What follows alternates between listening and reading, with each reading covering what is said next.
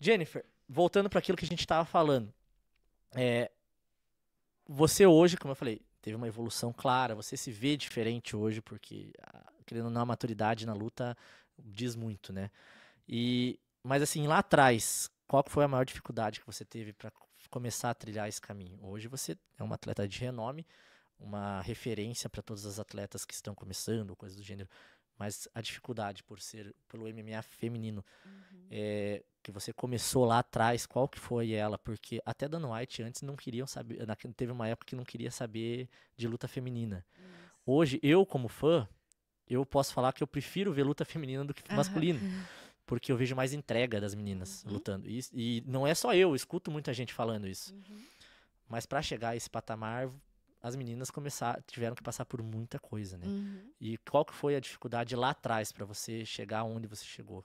Eu acho que é mais o incentivo, assim, né? O incentivo até do, do próprio país, da cidade, né? E com relação, assim, a gente poder se entregar é, bastante. É, totalmente ao esporte e não precisar depender de outras coisas. Então eu precisava trabalhar, dar muitas aulas para eu poder me sustentar e poder treinar. Então eu acho que é essa parte assim mais difícil de todo atleta aqui no Brasil, pelo menos, né? Porque a gente vê em outros lugares eles já começam com esporte na escola, é, ganham bolsa para poder treinar, né? Nossa, tem tudo pago para só treinar.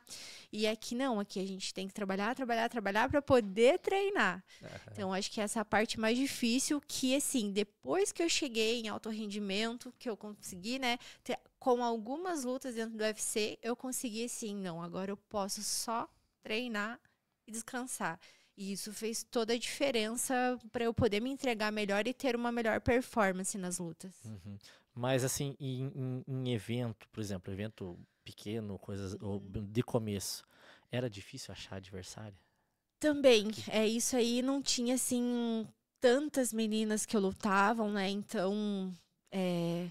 mas assim, eu também peguei só pedreira por não começo. ter tantas. Eu vejo que hoje em dia o pessoal que treina comigo, os atletas, é o meu técnico ele pode escolher, né, pelo número de card, se ele fecha a luta ou não fecha. E na minha época não tinha essa. Era quem tinha, a gente tinha que aceitar lutar, porque era a opção que tinha. Ah, a, gente vê, muito. a gente vê muito evento hoje que você é, acaba conhecendo o teu adversário no, no dia do, do evento. Uhum. Né? Aconteceu muito isso com Bem você? isso. Uhum. eu chegava assim ansiosa para saber quem era a pessoa tipo, que eu lutava. duas semanas a luta, uhum. chegava no evento, nem sabia quem era. Teve uma luta que foi no Pink Fight. Eu aceitei a luta na quinta-feira. No peso que eu tava, assim, cheguei lá, daí na luta no sábado, na sexta-feira. E daí, no dia da pesagem, eu ficava olhando assim: quem será que é minha adversária? Quem será? Quem será? E daí tinha uma menina morena, alta, parecia um piá. Eu falei, não, acho que não é aquela. Não, não é, não é, não é. Foi pesando todo mundo. Quem sobrou? Só eu e a menina. Falei, ai meu Deus do céu, a pior sobrou pra mim. Deu medo. Ganhei a luta, tudo, mas aconteceu isso, né? Só descobri lá na hora da pesagem quem ia ser a adversária.